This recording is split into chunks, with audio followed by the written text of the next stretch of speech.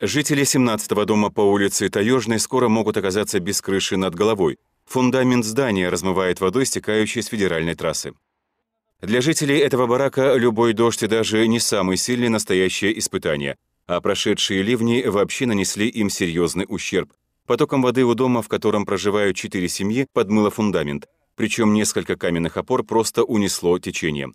Чтобы здание не разрушилось, мужчины укрепили его с помощью брусьев. Однако, если подобный потоп повторится, люди могут остаться вообще без крыши над головой. Во всех своих бедах жители барака винят Прим Автодор. Все дело в том, что вода в их двор стекает с федеральной трассы, и люди уверены, что это происходит из-за просчетов при проектировке дороги. Дом подмывает, вот стойки упали, посмотрите.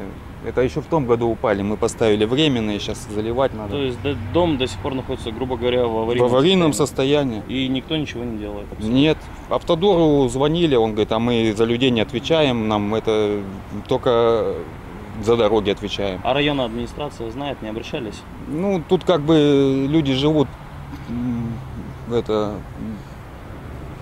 как сказать, ну, знают это. Все, звонят, не знаю, ничего не делают никто никогда. Также потоки воды подмывают и соседние дома, а общий ущерб от полученных повреждений может составить несколько миллионов рублей.